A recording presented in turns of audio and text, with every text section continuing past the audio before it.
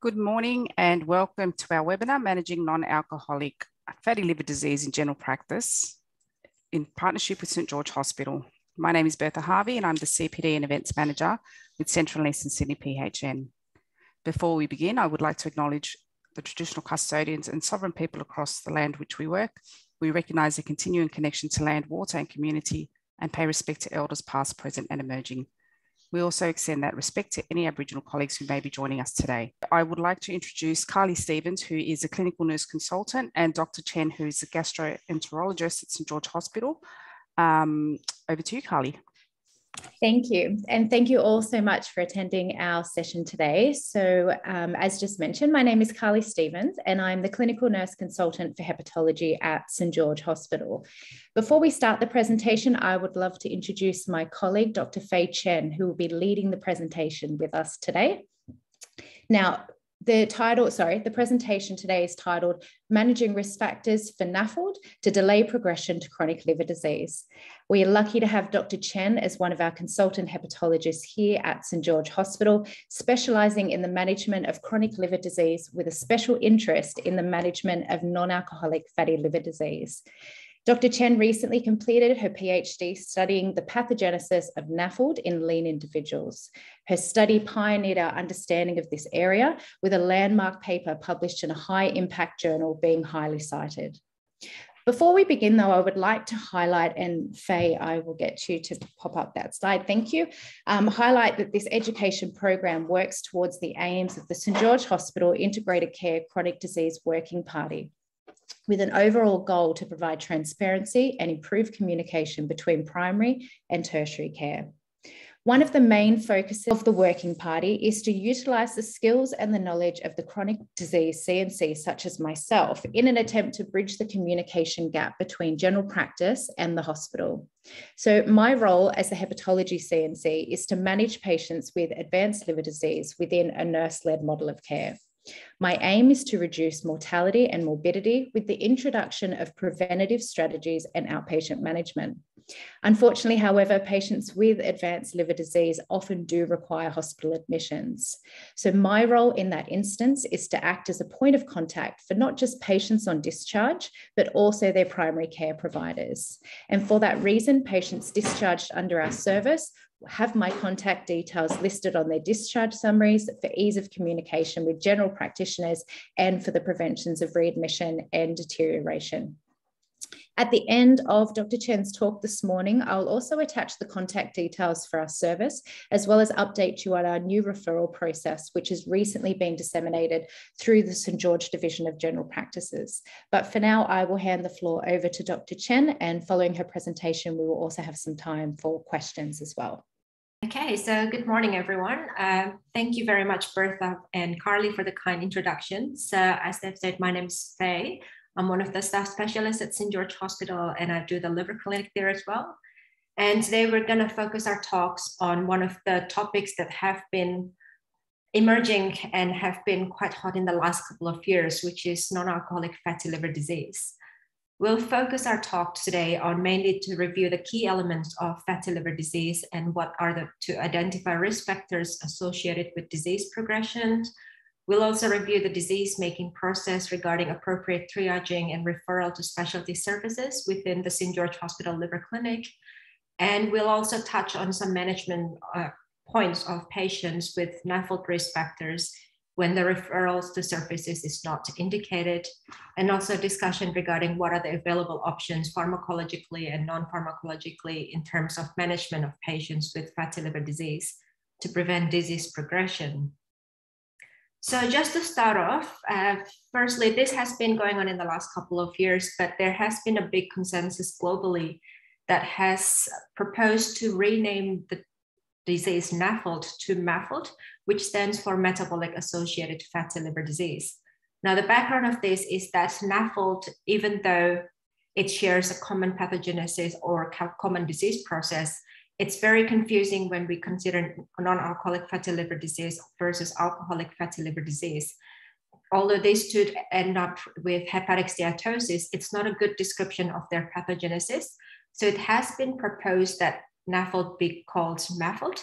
And the criteria for diagnosing MAFLD are those that in any patients who has hepatic steatosis with at least one metabolic risk factor. So if you've got hepatic steatosis plus you're overweight, uh, which is the cutoff is 25 in Caucasians and 23 in Asians, then you automatically qualify as MAFLD.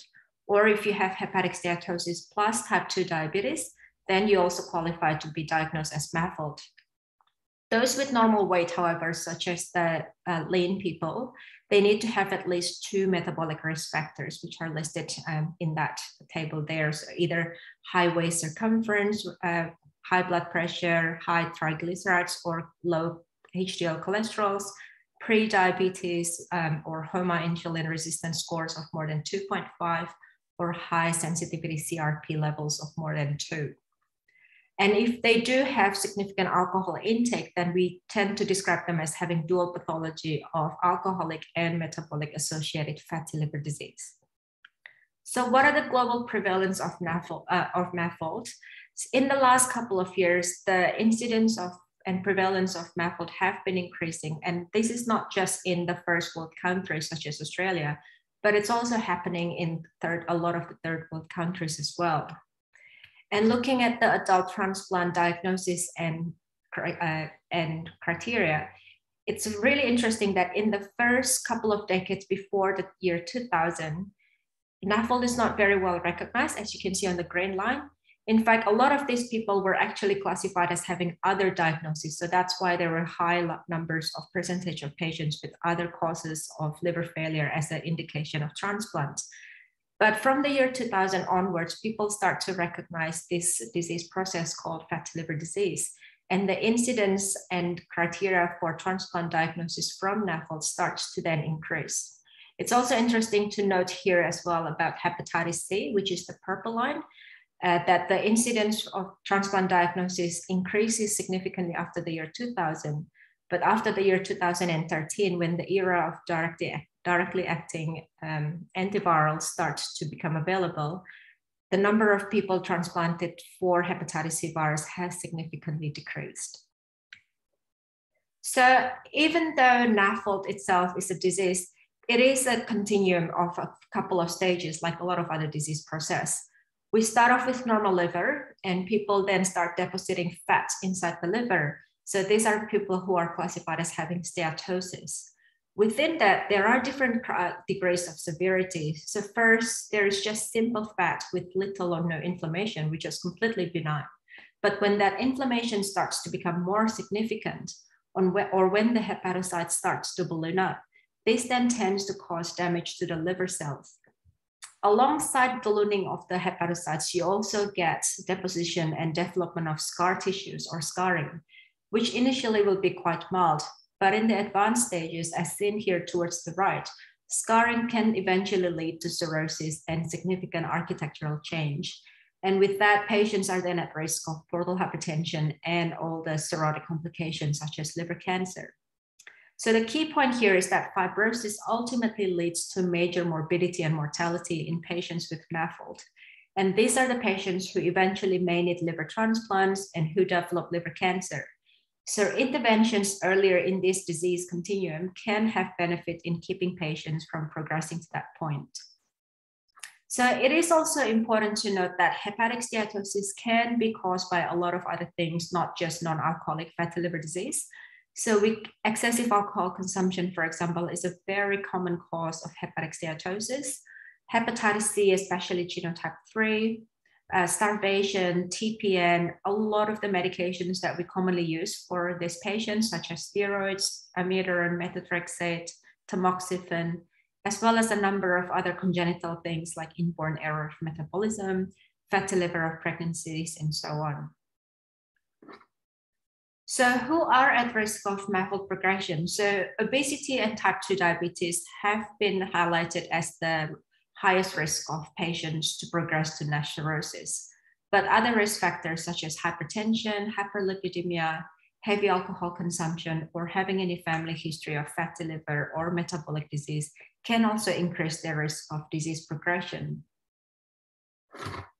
So looking at the mortality risk associated with MAFLD versus NASH, so this study examined the mortality risk of patients without NAFLD, with NAFLD, and with NASH. So patients in patients without NAFLD, there is some baseline cardiovascular risk in the general population. Roughly about a third of them is contributed by cardiovascular death. But in those who develop non-alcoholic fatty liver disease, the bar indicating mortality risk due to cardiovascular disease has doubled in size, indicating that the risk of them dying from cardiovascular disease significantly increased once they've developed non-alcoholic fatty liver disease. So this indicates that simply having excessive fat in the liver, even without the NASH, doubles the risk of death from cardiovascular disease. But for those who then progress to NASH, the great bar then greatly expands because NASH increases the risk of progression to cirrhosis and a lot of the liver disease related death. So let's just talk about uh, what uh, the goals of diagnosing and prognosticating NASH patients. So one goal is to identify people in the red line here who um, people who have NASH because they're at risk of fibrosis. So it is important to identify patients who have advanced fibrosis. As you can see here, patients who have very little or no fibrosis have similar mortality curve to those who have no fatty liver disease. But as their fibrosis progresses with stage two onwards, their survival curves tend, starts to drop off so that patients with F3 and F4 have a much higher mortality rate.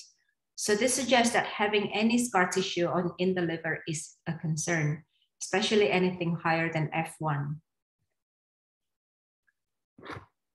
So there have been two recent big natural history studies of over 20 years follow-up of, of over involving over 800 patients that suggests that liver fibrosis is the only factor that independently predicts all-cause mortality, liver-specific mortality, liver transplantations, and liver-specific morbidities in NAFLD patients.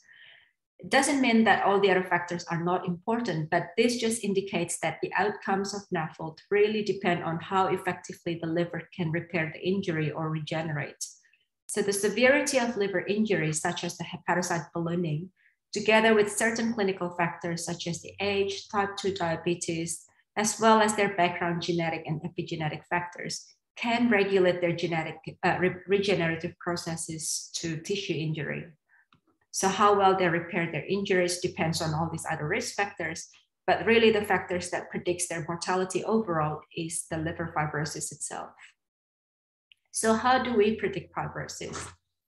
First thing to note is this NAFLD activity score, which the histopathologists use. And this is based on tissue diagnosis. So this is only used if you have tissue diagnosis and liver biopsy. There are other plasma biomarkers uh, which are available to predict fibrosis as well. Obviously, they all have different um, performance status. And it is important to note that not all of these are readily available. For example, the PRO-C3 is not readily available. it is used in a lot of the clinical trials, but it's not used widely cl um, clinically. the FibroScan is very commonly used clinically. So it is very liable to rule out advanced hepatic fibrosis. Um, so here on the left, we've got the what different levels of fibrosis looks like histologically. So this is the Masson trichrome strain, uh, stain. So the blue indicates fibrosis. So as you can see in the F4 stage, as you get towards the more advanced fibrosis, you get big, thick bands of fibrosis scarring here. So FibroScan is good at detecting the extreme levels of fibrosis. So it is good at the F3, F4 levels, and it is good at the F0, F1 levels, so less than six kilopascals.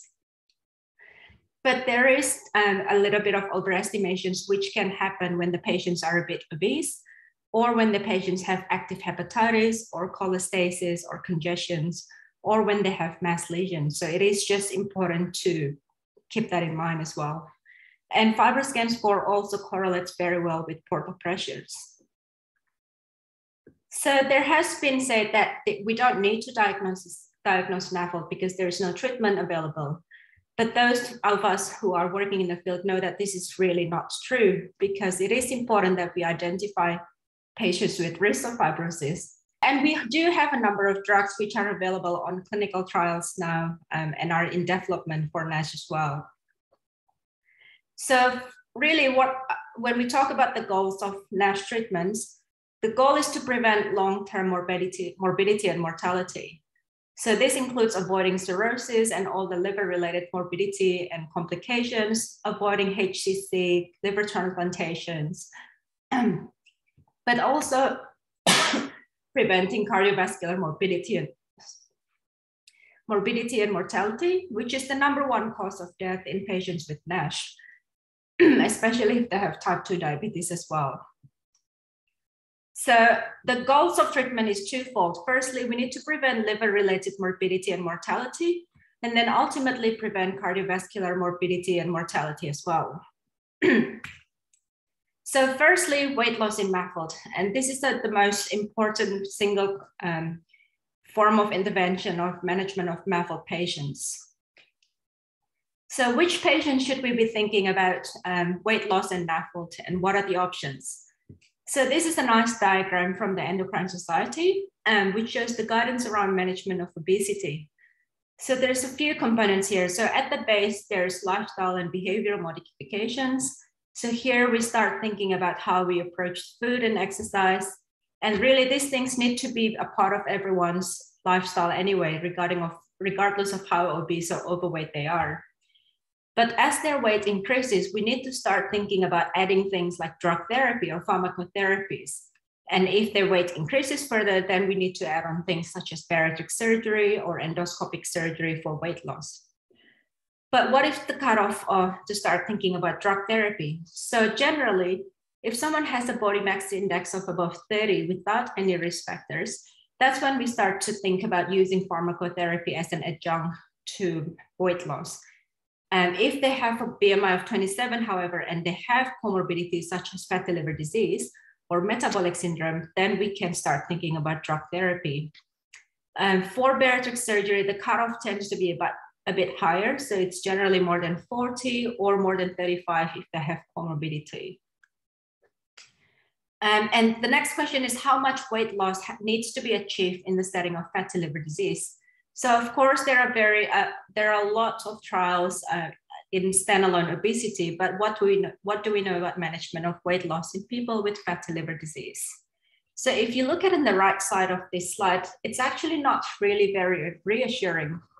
Of all the literature published, and there's not a lot of this, only about 30% of patients who achieve 5% of, of weight loss or more in one year can maintain that. And that's just achieving it maintaining it is going to be quite different and it's going to be more difficult.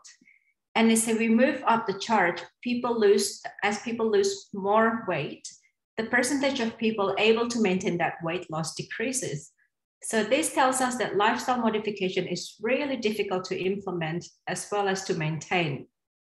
But what actually happens histologically when they lose this weight? So when you start to lose more than 5%, you start to see significant improvement of fat and steatosis in the liver. And as you get to 7%, you start to see quite a significant effect on the inflammatory injury.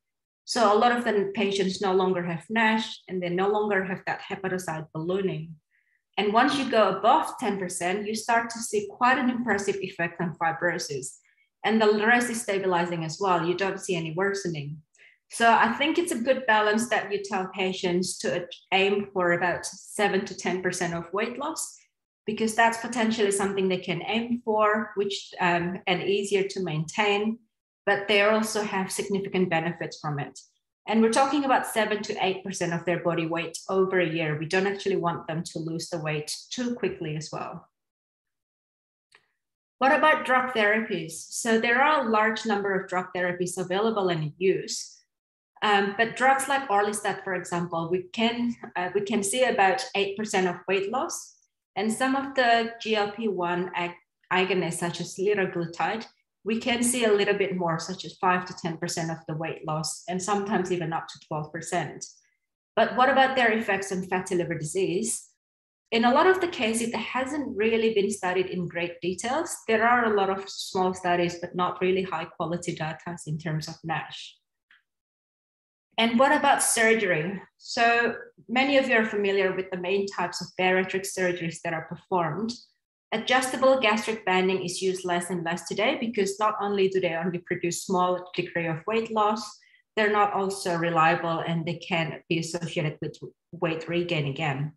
So the main procedures that we perform now for weight loss are mainly vertical sleeve gastrectomy or the Roux-en-Y gastric bypass. And these procedures can result in 20 to 30% of weight loss and improvement in a lot of the weight related complications, such as resolution of diabetes, improvement of sleep apnea, lipids profile, and hypertension. But what about their effect on NASH and their liver histology? So the short answer is they do improve the liver histology. This is a study that was based on more than 100 patients who had biopsy proven NASH. So in this particular cohort, there was substantial reduction of BMI down from 49 to 37. And there was this was also associated with significant improvement in the liver injury. So 85% of them had resolution of NASH, 34 of them had improvement of fibrosis. And these are pretty significant findings. So how do we summarize all this together? The key here is to try and make sure people can adopt lifestyle change, make those changes to their diet and exercise and maintain them. So with diet, exercise, and lifestyle, we're looking at about five to 8% of weight loss. But if in the best case scenario, but if you're looking at more weight loss, then you're li- really looking at adopting some pharmacological agent, which can give you up to 10% of weight loss. And if you need more weight loss, then it's really the bariatric surgery or endoscopic uh, weight loss surgery that you're looking at, which can give you up to 30% of weight loss. What about other pharmacological agents we can use in terms of management of fatty liver disease? So these are the medications that are currently available. They target various things such as insulin resistance, as well as oxidative stress, such as in the vitamin A. It is important to note with metformin that although it is the cornerstone of therapy of type 2 diabetes, um, it is not, it has not been proven to have any effect on his liver histology in fatty liver disease. So it is still good for type 2 diabetes, but I wouldn't necessarily use it mainly for NASH if you don't have any type 2 diabetes. Pioglitazone, on the other hand, and vitamin E are both recommended to be used in patients with biopsy proven NASH. They have been studied in multiple trials and have been shown to show improvement of NASH resolution. They have been also shown to uh, cause improvements of NAFLD activity score of more than two scores when they've been used in clinical trials as well. So um, what are the options really? So we know metformin is okay to use in type 2 diabetes, but not necessarily for primarily to treat NAF, uh, NAFLD. Uh, pioglitazone, on the other hand, have been shown to improve liver histology. Same with vitamin E, when we use at 800 international units a day, it has been shown to improve liver histology in non-diabetic adults. So how do we currently manage patients? So there are currently four different target areas that we can consider. So we can first look at the cardiovascular risk. We can start to reduce their cardiovascular risk profile by treating their metabolic syndrome, such as their hypertension or dyslipidemia. And then we can look into treating, starting treatment that direct into, directly treat their liver, such as their vitamin E, pioglitazone, or liraglutide. Um, and then we can look at controlling their obesity. So with weight loss programs such as diet, exercise, drugs, as well as bariatric surgery. And finally, reduce cancer risk. Um, and metformin and simvastatin, interestingly, have been shown in a number of cross-sectional data to, uh, to be reduced, to be associated with reduced liver cancer risk. What about the use of statin with um, patients with NASH? So the current statement is that clinical trials of statins as treatment for NASH are limited.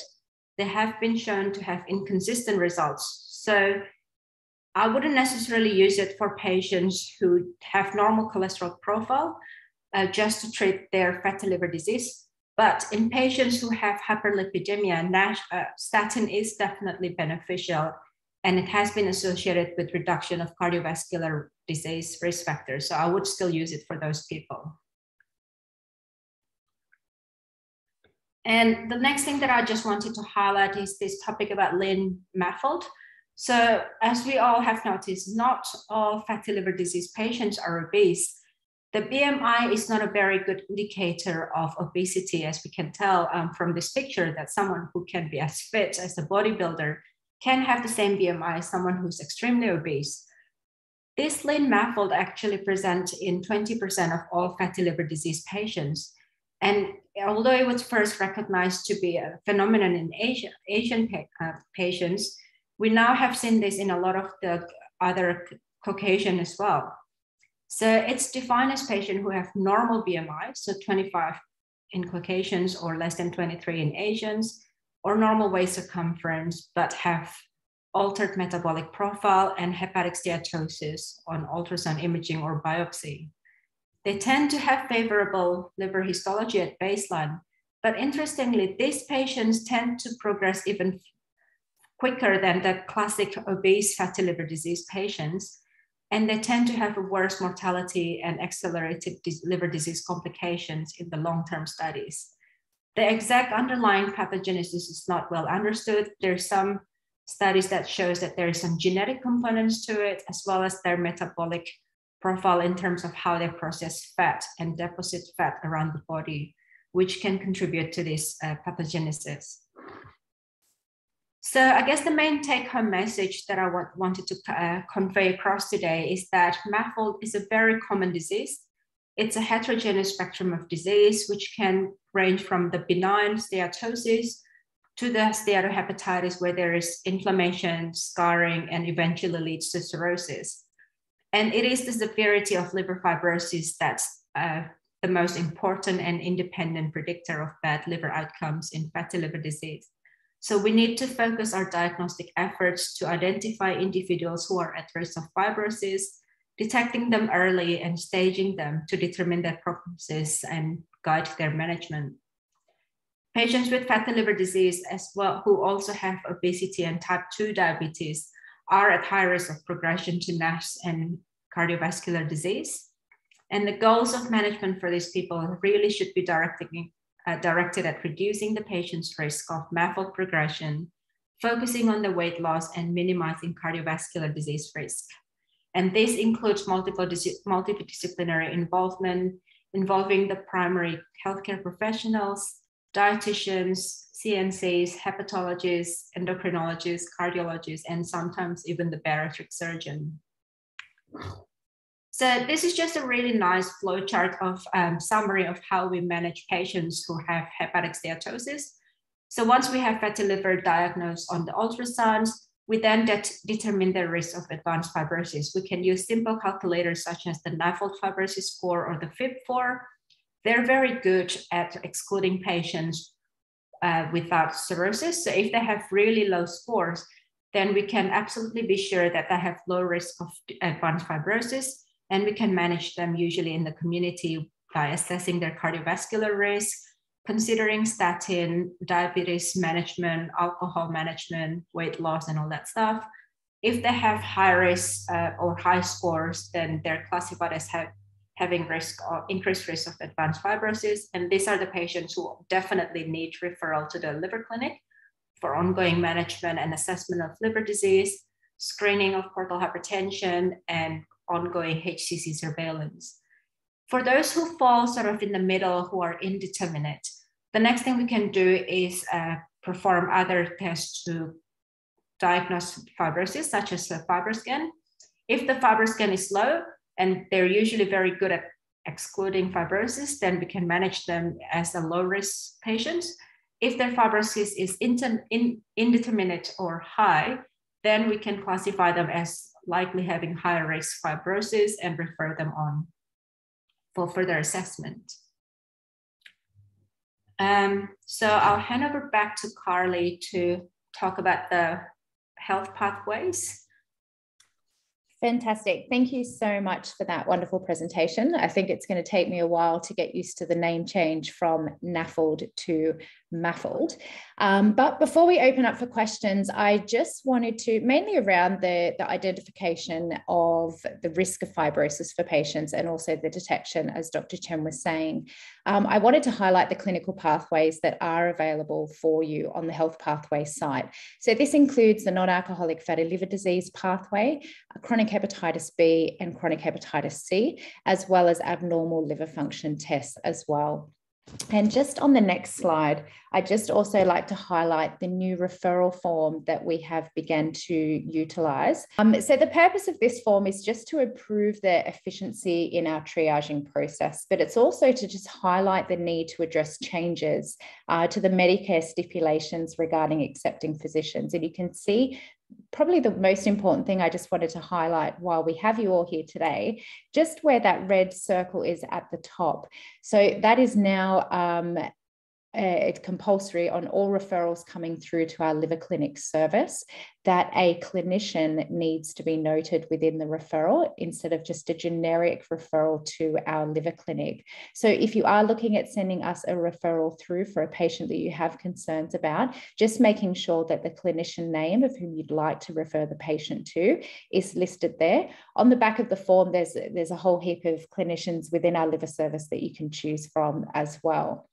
And just going back on that last page, it's just a screenshot as well of the contact details for our department. As I mentioned previously, all patients that are known to our service that are discharged and going to be having follow up with our service will also have my contact details there, just as a point of contact if there are any concerns after that patient's um, discharge from hospital. But if there is a patient that you are looking at referring or you have questions about that referral process, the contact details for myself as well as our hepatitis B clinical nurse consultant are on there and also uh, the email address for our admin team for referral processes as well. So I will open up for questions now also. Okay, so I've got a question here for you, Dr. Chen. Can patients with a low BMI around 19 have fatty liver disease and fibrosis? And if so, what is the treatment? Um, yes, so this uh, goes back to the uh, lean MAFLD phenomenon that I was talking about. So definitely can. Uh, and like we said before, these patients tend to have late diagnosis because they don't expect to have fatty liver disease. And usually they're only picked up on random routine screening for other purposes, such as pre op or other routine sort of blood tests uh, yearly. And, and a, lot of the times, these patients all were, already tend to have quite advanced fibrosis um, sometimes as well, which is surprising. So, yes, they can have fatty liver disease and develop fibrosis as well. Unfortunately, treatment is still very difficult at this stage. Um, if they don't have diabetes, we can try some vitamin E tablets. Uh, we tend to have to control their metabolic risk factors aggressively. So check their cholesterols, blood sugars, uh, blood pressure, and control all those factors. Obviously, we can't, obviously we can't get them to lose weight if their BMI is already low. So we can only manage them by managing their metabolic risk factors.